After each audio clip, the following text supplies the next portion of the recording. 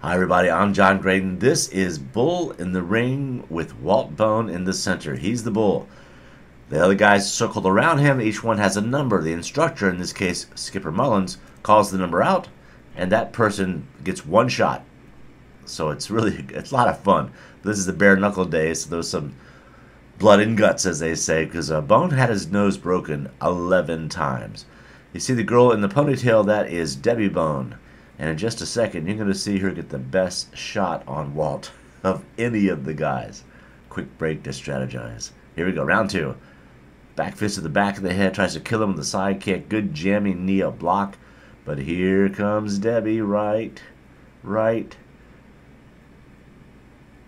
Bang, right there. You can see he has to recover. He grabs his nose that's the only time that you can see somebody hits him and he reacts by grabbing that area. So that must have stung. Oh, that's great fun.